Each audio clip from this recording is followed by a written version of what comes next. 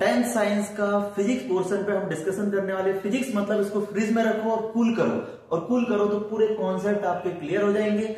और क्लियर हो गए कॉन्सेप्ट तो अपन सीबीएसई e वाले पोर्शन जो सीबीएसई e के एग्ज़ाम में फिजिक्स वाले पोर्शन में हम धूम मचा देंगे। और हम अब स्टार्ट करते हैं मैं, राम रघुवंशी फ्रॉम मेसी कोचिंग देखिए फ़र्स्ट चैप्टर हमारा लाइट है।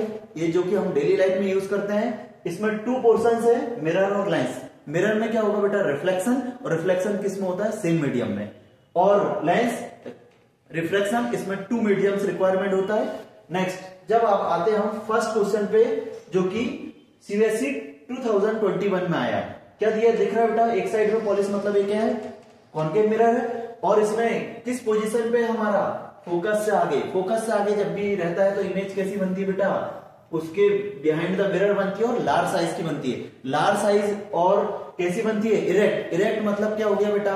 इरेक्ट जब भी इमेज बनेगी तो मैग्निफिकेशन कैसा होगा? पॉजिटिव मैग्निफिकेशन पॉजिटिव और अपने को ऑप्शन क्वेश्चन में पूछा है कार्टेशियन साइन के थ्रू अपने को मैग्निफिकेशन बताना है तो इसका मतलब पॉजिटिव पॉजिटिव वाले चॉइस कर लेंगे मतलब ये नेगेटिव वाले क्या हो जाएँगे? कैंसिल आउट अब इसके बाद हमको मालूम है बिहाइंड द मिरर कैसी बनती है? लार्ज साइज़ और लार्ज साइज़ बन रही है, इसका मतलब क्या है? मैग्निफिकेशन कैसा होगा बेटा? ग्रेटर देन वन और ग्रेटर देन वन होगा, इसका मतलब ये कौन सा ऑप्शन आ गया डी ऑप्शन आ गया.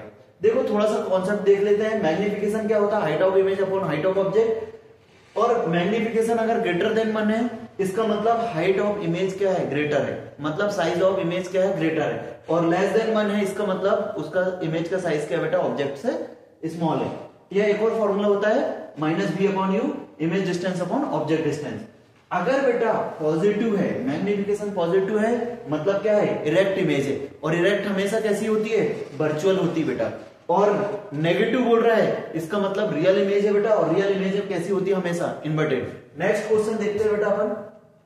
नेक्स्ट एक स्टूडेंट है भाई, जो wants to project the image of the candle कहाँ पर बना रहा है? स्क्रीन पे। जब भी इमेज स्क्रीन पे बन रही है और ये स्क्रीन बर्ड आया है, इसका मतलब वो इमेज की बात कर रहा है इमेज डिस्टेंस की बात कर रहा है। इमेज डिस्टेंस दिए इन फ्रंट ऑफ़ मिरर और मिरर के फ्रंट में इमेज का फॉर्म होती है ओनली कॉन्केव मिरर में, क्योंकि कॉन्वेक्स मिरर में तो बिहाइंड द मिरर फाइंड होती है। इसका मतलब हम अंडरस्टूड हो गए कि मिरर कौन सा हो गया बेटा? कॉन्केव मिरर हो गया। Next candle candle flame at a distance 20 centimetre वो कहाँ पर रख रहे हैं उसको? यू डिस्टेंस दी बेटा 20 सेंटीमीटर क्या पूछा? व्हाट टाइप ऑफ़ मिरर कौन सा मिरर है बेटा जिसमें फ्रंट में बनती है? अभी बताया मैंने। कॉनकेव बस मिरर है जिसमें फ्रंट में इमेज बनती है? कॉन्वेक्स में हमेशा कहाँ बनती है? बिहाइंड द मिरर इसका मतलब कौन सा आंसर आ जाएगा बेटा? Concave mirror find the magnification of image तो फाइंड द मैग्निफिकेशन पूछ रहे तो मैग्निफिकेशन का अभी जस्ट फॉर्मूला बताया। एक तो height of image upon height of object पर यहाँ पर इमेज की साइज़ नहीं दिया है, क्या दिया डिस्टेंस दिया मतलब क्या लगाऊँगा? माइनस बी अपॉन यू और माइनस बी अपॉन यू से क्या निकाल सकता हूँ बेटा मैं? यहाँ पर मैग्निफिकेशन नेक्स्ट हमारा है find the distance between the object and image अगर दोनों साइड एक ही साइड में बन रहे हैं, इसका मतलब अगर कहीं ऐसा ऑब्जेक्ट है और उसी साइड में इमेज बन रही है कितने पे 20 पे 80 पे तो दोनों के बीच में गैप कितना होगा बेटा? 60 का गैप होगा। ये कितने का गैप होगा बेटा? 60 का। नेक्स्ट ड्रॉ रे डायग्राम अब ड्रॉ रे डायग्राम अपने को ये समझ में आएगा फ्रंट पे बन रही है इमेज और पीछे बन रही है। ऑब्जेक्ट आगे है तो इसका मतलब इसको क्लियर करने के लिए हम क्या कर सकते हैं बेटा? फोकल लेंथ फाइंड आउट कर सकते हैं। फोकल लेंथ फाइंड आउट करने के लिए मिरर का अपने को फॉर्मूला पता है one upon f equal to one upon v plus one upon u और यहीं पर अगर माइनस साइन आ जाएगा तो किसका हो जाएगा बेटा? लेंस का। और यहाँ पर सॉल्व करके हम फोकल लेंथ आ जाएगी। और कॉन्केव की मिरर की क्या होती है? फोकल लेंथ नेगेटिव होती है। और फोकल लेंथ नेगेटिव होगी तो उसको सॉल्व करके हम क्या आ जाएगा? हमारा बेटा कहना चाहिए, इससे हम जैसे फोकल लेंथ हमारी माइनस सिक्सटीन है, इसका मतलब है कि हमारा जो ऑब्जेक्ट ट्वेंटी पे है, इसका मतलब वो क्या है? फोकल लेंथ और सी के क्या है? सी के आगे और सी के आगे तो इमेज कहाँ बनती है? सी के पीछे। नेक्स्ट क्वेश्चन बेटा। एक ऐसा एक कुछ दिया है और अपने को पूछ रहा है as per arrangement optical device कौन सी होगी? ये ऑप्टिकल डिवाइस मतलब रेस आ रही है और उससे क्या हो रही है? एक कोई ऐसा एक ऑब्जेक्ट है और उससे क्या हो रही है? पास हो रही है मतलब ये क्या है? रिफ्लेक्शन हो रहा है। रिफ्लेक्शन किसमें होता है बेटा? लेंस में होता है, इसका मतलब मिरर ऑप्शन के हो जाएँगे। कैंसिल आउट अब लेंस में। लेंस में अपने को मालूम है कौन से लेंस में क्या हो रही है? डाइवर्ज होती है। और डाइवर्जिंग लेंस कौन सा बेटा? हमारा कॉन्केव लेंस है।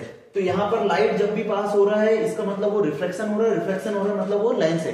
तो लेंस में याद रखना बेटा कॉन्केव कैसा होता है? डाइवर्जिंग स्प्रेड हो रही है, फैल रही है। और कन्वर्जिंग मतलब कन्वर्जिंग लेंस कौन सा हो जाएगा? हमारा कॉन्वेक्स यही अगर हम देखा जाए तो ये कन्वर्जिंग ये देखो रेस आ रही है और पास में आ रही मतलब कन्वर्जिंग और रेस इसमें जाती है तो वो डाइवर्स होती है। नेक्स्ट मिरर के लिए क्या हो जाता है? यही चीज़ें अपोजिट हो जाती है। नेक्स्ट हमारा बेटा एक एक क्वेश्चन दिया और इज़ नॉट ट्रू बोल रहा है। अब एक कॉन्केव मिरर है? सी के ऊपर जब ऑब्जेक्ट है तो इमेज कहाँ बनेगी बेटा? सी के नीचे, अपने को ही पता है। और इसका मतलब नॉट करेक्ट पूछा है। तो हमको सी के नीचे बन रही है और इन्वर्टेड इमेज हमेशा कैसी होती है? रियल बनेगी और इन्वर्टेड बनेगी, ये तो करेक्ट होंगे। और हमारा सेम साइज़ की बनती है और ये फोकस के डबल डिस्टेंस पे बनती है। इसका मतलब एन एन तो बनेगी नहीं। ये ऑप्शन हो गया यहाँ पर। इन्फिनिटी पे जब भी इमेज रहती है तो इन्फिनिटी पे ऑब्जेक्ट रहता है तो इमेज फोकस पे बनती है। फोकस पे ऑब्जेक्ट रहता है तो इमेज कहाँ बन जाती है बेटा? इन्फिनिटी पे। सी के आगे रहता है तो सी के पीछे सी के ऊपर सी के नीचे सी के आगे सी के पीछे। और फोकस से हटे तो बेटा कहाँ बन जाती है? Behind the mirror next question अब अपने से पूछ रहा है power of lens power of lens क्या होता है the reciprocal of focal length ये आपने पढ़ा है the reciprocal of focal length P equal to one upon f next क्या पूछ रहा है बेटा? हमसे पूछा है कि अ स्टूडेंट यूजेस लेंस जिसकी फोकल लेंथ दिया है बेटा हमको, और ये दो टाइप की फोकल लेंथ पूछ रहा है, और उसमें नेचर पूछ रहा है पावर के।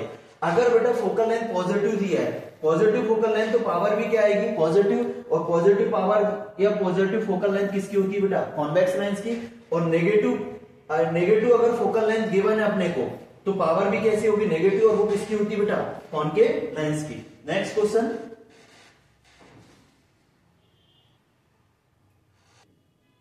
नेक्स्ट चैप्टर बेटा ह्यूमन आई है, और ह्यूमन आई बहुत ही इजी चैप्टर है। इससे फिक्स क्वेश्चन आते हैं। इसमें कोई घुमाने और फिराने वाला सिस्टम नहीं है। और ये तीन चार क्वेश्चन जिस पर प्रैक्टिस करा दूँगा, बस उसको अपने को रिवाइज करना है। नेक्स्ट हम देखते हैं ये ह्यूमन आई ये ह्यूमन आई है भाई भैंस की आई नहीं है। और देखते हैं इसमें क्या क्वेश्चन पूछा है। फोर पार्ट्स ऑफ़ लेवल और इनकी फंक्शनिंग पूछ है। ए बी सी और डी के नाम पूछ रहा है। तो बेटा ये जो लेंस है, ये लेंस है लेंस के सामने जो रहता है वो होता है प्यूपिल और लेंस से जो कनेक्ट रहता है, उसको बोलते हैं हम आइरिस और आइरिस के बाद जो रहता है उसको क्या बोलते हैं हम? सिल्वरी मसल उसकी फंक्शनिंग बताना है। प्यूपिल क्या करता है भाई? अमाउंट ऑफ़ लाइट को इंटरिंग इसको कंट्रोल करता है? कितना अमाउंट अपने को लाइट को इंटर कराना है? प्यूपिल का काम ये। सिल्वरी मसल का काम बेटा curvature curvature modify the curvature lens का कर्वेचर पे को कंट्रोल करता है। आइरिस आइरिस क्या करता है? साइज़ ऑफ़ द प्यूपल को कंट्रोल करता है। और रेटिना तो क्या बोलता है? इमेज फॉर्मेशन करता है। नेक्स्ट क्वेश्चन नेक्स्ट आता है अपना question what is the far point और नियर पॉइंट ये तो बच्चों वाला क्वेश्चन है। फोर पॉइंट मतलब फोर मतलब इंफिनिटी और नियर पॉइंट मतलब 25 सेंटीमीटर और इसको हम क्या बोलते हैं? Least distance of distinct vision next आते हैं बेटा हम। नेक्स्ट क्वेश्चन हमारा, क्या पूछ रहे हैं? डिफिकल्टीज जो है reading reading of black board और वो कहा बैठा बेटा स्टूडेंट लास्ट रो में बैठा और डिफिकल्टीज हो रही है। इसका मतलब उसको क्या बैठा है? नियर साइडनेस है शॉर्ट साइडनेस है मायोपिया है। मतलब नियर जो नाम है, वो दिख रहा है और दूर का नहीं दिख रहा है, क्योंकि लास्ट रो में तो दूर का नहीं दिख रहा है। तो इसका मतलब नियर साइडनेस है और नियर साइडनेस में नियर में बनता है मतलब रेटिना के पहले बन जाता है, इसलिए इसका नाम क्या है? नियर साइडनेस और इसको अगर मैं अपने को रिमूव करना है तो कौन सा लेंस यूज़ करेंगे बेटा हम? कॉनकेव तो अपने को याद रखना है नियर वर्ड ज़्यादा होते हैं तो उसमें कॉनकेव और फॉर साइडनेस में फॉर थ्री वर्ड्स का रहता है तो कॉन्वेक्स लेंस यूज़ करेंगे। ऐसा याद रख सकते हो नेक्स्ट क्वेश्चन एक, अपने को मेजर कॉलम जैसे जैसे ट्विंकलिंग ऑफ़ स्टार किसमें होता है बेटा? रिफ्लेक्शन और रिफ्लेक्शन मतलब चेंजिंग एटमोस्फेयर मतलब मीडियम चेंज होना। Blue eye blue sky blue sky किसमें होता है बेटा? स्कैटरिंग स्कैटरिंग मतलब लाइट स्प्रेड हो जाता है बेटा। रेनबो रेनबो किसमें होता है बेटा? सस्पेंडेड वाटर ड्रॉप और रेनबो में क्या होता है? टू रिफ्लेक्शन होते हैं और वन टोटल इंटरनल रिफ्लेक्शन होता है बेटा। और स्पेक्ट्रम स्पेक्ट्रम किसमें होता है बेटा? ग्रुप्स ऑफ़ कलर मतलब प्रिज्म जस्ट अभी इसके बाद वाला क्वेश्चन में देखेंगे। नेक्स्ट देखते हैं हम। ग्लास प्रिज्म बोला है और स्पेक्ट्रम वर्ड इसका मतलब प्रिज्म आया स्पेक्ट्रम आया। ये प्रिज्म दिख रहा है, बेटा, ये लाइट गया और अपना क्या है? ये दिख रहा है, अपने को मालूम है सेवन कलर्स में डिवाइड हो जाता है। वन टू सेवन और इसको याद रखना कैसे, बेटा? इसमें क्या पूछा है? The colour of at position mark three and five similar to the colour of sky and colour of gold medal और क्या पूछा? करेक्ट इन करेक्ट तो अपने को ध्यान रखना बेटा, अपने को मालूम है बिग से याद रखा होगा अपने बिग क्योर उल्टा चलता है बस इसको ऐसे चलाना है, नीचे वाला वॉलेट होता है और ऊपर वाला रेड होता है। और ये बोल रहा है थर्ड पोजीशन थर्ड पोजीशन पे क्या आ रहा है बेटा? ये हेलो पर ये क्या बोल रहा है थर्ड पोजीशन पे कलर ऑफ़ स्काई तो ब्लू होता है, इसका मतलब ये गलत दे रहा है। कलर ऑफ़ स्काई तो वो कौन सा होगा अपना? फिफ्थ कलर होगा मतलब ये जस्ट क्या कर रहा है अपोजिट इसका मतलब ये इनकरेक्ट और इसका रिवर्स ऑर्डर क्या होगा? करेक्ट होगा। नेक्स्ट क्वेश्चन हमारा बीस two position corresponding closely to colour brinjal किस कलर का होता है बेटा? Violet colour. वॉयलेट कलर मतलब सेवन नंबर। और डेंजर और स्टॉप सिग्नल किस कलर के होते हैं? Red colour. रेड कलर मतलब बेटा वन नंबर। ठीक है? नेक्स्ट क्वेश्चन पे देखते हैं बेटा। नेक्स्ट। नेक्स्ट चैप्टर बेटा, करंट है। इसमें फ़र्स्ट क्वेश्चन हमारा define the one volt one volt मतलब सिंपल अपने को ये फॉर्मूला याद होना चाहिए, v equal to W upon Q और इसी से अपने को डेफिनेशन देना है कि वन कुलाम चार्ज को वन जूल वर्क डन करना पड़ता है इंफिनिटी से किसी पॉइंट तक लाने में. That is called one volt next question पूछ रहा है calculate the amount of energy और वन कुलाम चार्ज दिया और अपने को थ्री वोल्ट दिया है तो डायरेक्ट फॉर्मूला का यूज़ करेंगे सॉल्व करेंगे आपका आंसर आ जाएगा. नेक्स्ट क्वेश्चन राइट ऐसा यूनिट ऑफ़ रेजिस्टिविटी रेजिस्टिविटी का एक और नाम क्या होता है? स्पेसिफिक यूनिट स्पेसिफिक रेजिस्टेंस और आर ए फॉर्मूला अपने को याद रखना R equal to rho l upon A इसको आप रेजिस्टेंस का आप, आपको अगर है या तो या तो याद कर लो आप या तो डायरेक्ट फाइंड आउट भी कर सकते हैं। क्या होती है बेटा? ओम इंटू मीटर, और ये फॉर्मूले से हमको क्या है? न्यूमेरिकल्स आते हैं। जैसे आपको एक न्यूमेरिकल आ सकता है कि कोई वायर है और उसकी लेंथ एल है, और क्रॉस सेक्शन एरिया ये अगर उसको स्ट्रेच करके उसकी डबल लेंथ कर दिया जाए, तब उसकी रेजिस्टेंस न्यू रेजिस्टेंस क्या होगा? जैसे ही डबल लेंथ करेंगे तो बेटा, इसमें एक चीज़ हिडन रहती है कि एरिया क्या हो जाता है? हाफ़ हो जाता है, ये बताता नहीं है, अपने को अंडरस्टैंड नहीं करना। बट कट करने की बात कर रहे हैं तो उसमें area of cross section change नहीं करना है। और नेक्स्ट रेजिस्टिविटी किस पे डिपेंड करती है बेटा? ओनली मटेरियल पे डिपेंड करता है रो मतलब रेजिस्टिविटी नेक्स्ट जबकि वही रेजिस्टेंस की बात करेंगे तो वो लेंथ पे भी एरिया पे भी और मटेरियल पे भी और टेम्परेचर पे भी डिपेंड करता है रेजिस्टेंस है ना? नेक्स्ट क्वेश्चन बेटा हमारा रिलेशन बताना है हीट एनर्जी किसमें? पोटेंशियल डिफरेंस और करंट से रिलेशन बताना है. तो ये सिंपल आया बेटा सीबीएसई के, पूरे सीबीएसई के क्वेश्चन है. पूरे कॉन्सेप्ट क्वेश्चन के हैं? हीट हीट और बीट हीट बीट याद रखना है बेटा? Heat equal to beat V I T बस तो भी पोटेंशियल भी हो गया करंट भी हो गया और टाइम भी टाइम में भी रिलेशन हो गया. सिंपल फॉर्मूला बेटा. नेक्स्ट एक पूछ रहा अपने से, एक कोई ऐसा सर्किट डायग्राम दिया और करंट ड्रॉ पूछ रहा है. और यहाँ पर एक सर्किट डायग्राम अपने को वोल्टेज दे दिया है और रेजिस्टेंस तो दिया है करंट पूछ रहा है. मतलब ओम्स ला लगाएँगे. ओम्स ला क्या होता है हमारा? V directly proportional to I अगर फ़िज़िकल कंडीशन इसमें याद रखना ओम्स ला में. Physical condition are not change मतलब लेंथ एरिया मटेरियल चेंज नहीं होना चाहिए टेम्परेचर चेंज नहीं होना चाहिए तो उसके लिए बस लागू और किसके लिए? ओनली मेटल्स के लिए। तो हमने को v equal to I R से अपने को आंसर लेके आना है बट इसमें क्या चाहिए? आई चाहिए v तो पता है थ्री पर आर आर के लिए इस, इस तरीके से दिया। मतलब हमको क्या है? कॉम्बिनेशन ऑफ़ रेजिस्टेंस दिया। तो अपने को मालूम बड़े डंडे से क्या होता है? करंट फ्लो होता है तो ये करंट फ्लो कराया अपन इसके बाद हमने ये देखी कि टू पाथ दिख हमको। ये आई वन और ये क्या हो जाएगा? आई टू बट ये आई वन भाई देख रहे हो आप, कहीं डिवाइड हो रहा है क्या? नहीं। इसका मतलब ये तीनों में क्या है? भले सर्किट ऐसा लग रहा है कि पता नहीं क्या हो गया है। बट यहाँ पर ये सर्किट को अपने को टेंशन नहीं लेना है सिंपली करंट फ्लो कराना है। ठीक है?